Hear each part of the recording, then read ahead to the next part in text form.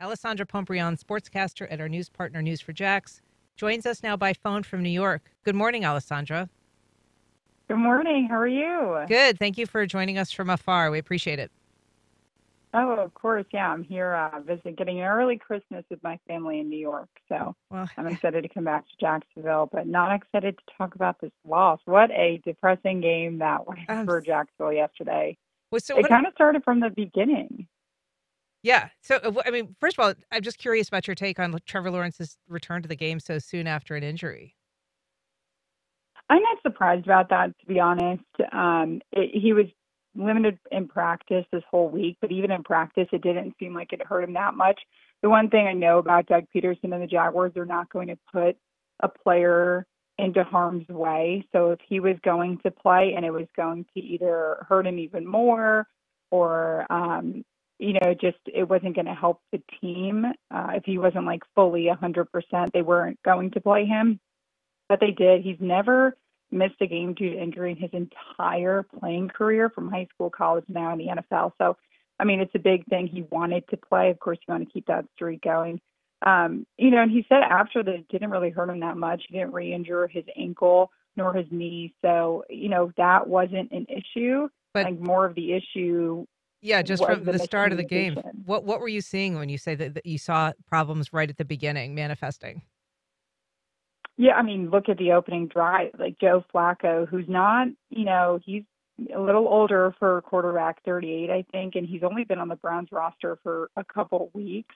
For him to open the game with such a nice drive, moving the ball down the field, the defense could not stop them at all, and then capping it with the 30 yard, 34 yard touchdown pass to Njoku. Um, when he was wide open, that's not a way that you want to start the game.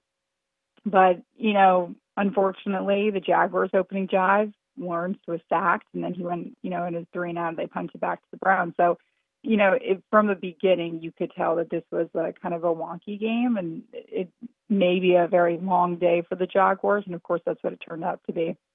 And so, when it comes to the Browns, they've got a great defense. Um, who, who yeah. won the game uh, for for them? Was it the defense? Was it the Jags offense losing?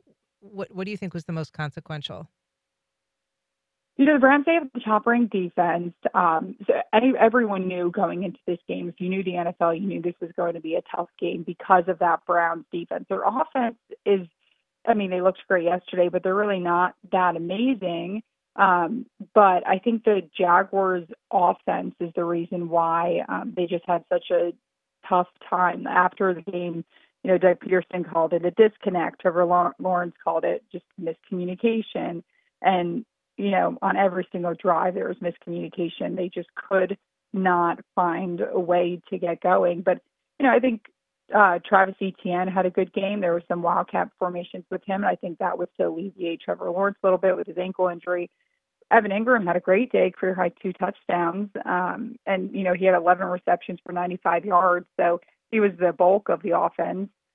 So, but yeah, it was it was hard. I mean, when you have three intercept when you throw three interceptions for Trevor Lawrence, it's you know you're statistically you're not going to win. Yeah, ugly. I will say that the shouting in my house uh, at the television all surrounded the, the two point conversion attempt. What what was the deal there?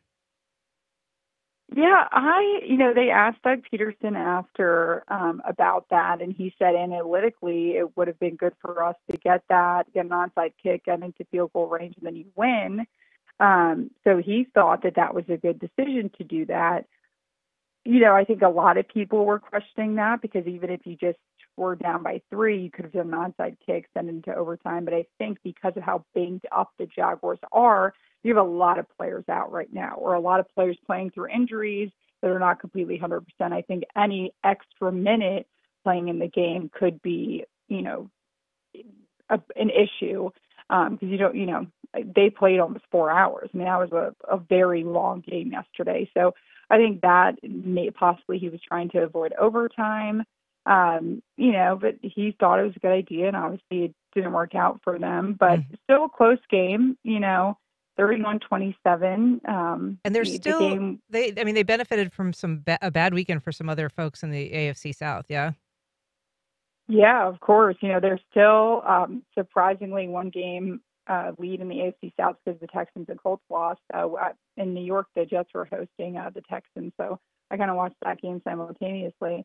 Um, but yeah, so th- that's a, good thing. I mean, they lost back-to-back games for the second time this season. You know, in week two and three, they also lost, but you know they're hosting the Ravens on Sunday Night Football. They're leading the AFC North. They're one of the best teams, if not the best team in the league.